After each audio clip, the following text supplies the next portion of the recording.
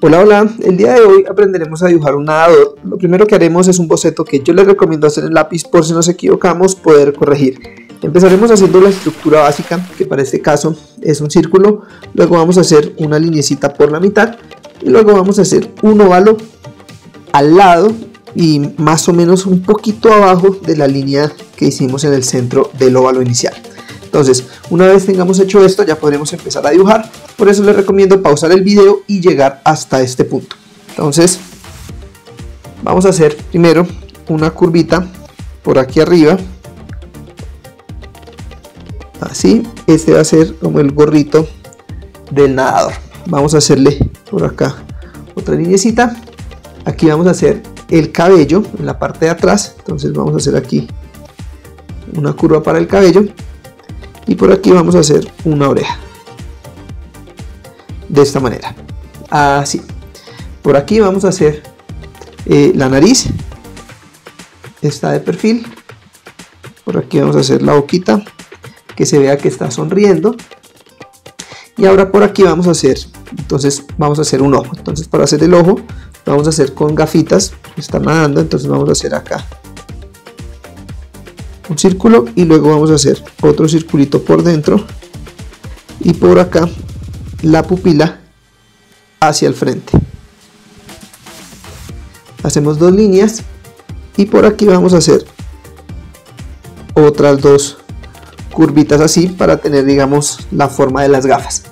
Ahora vamos a hacer el cuerpo. Entonces este óvalo va a ser el cuerpo. Vamos a hacer hacia arriba aquí una pierna. Entonces vamos a hacer acá una curva. Así. Y luego vamos a hacer aquí una curvita hacia afuera. Ya tendríamos el primer pie. El otro va un poco hacia abajo. Entonces por aquí vamos a hacer dos curvas. Así. Y vamos a hacer también la misma curvita. Así para tener la otra pierna. Entonces esta está por encima del círculo porque está de este lado y esta no se ve porque está del otro lado. Y ahora aquí vamos a hacer las manos. Entonces esta manito de acá, la que está digamos a este lado, la vamos a hacer hacia abajo. Entonces vamos a sacar acá una curva por acá. Hacemos aquí la curva.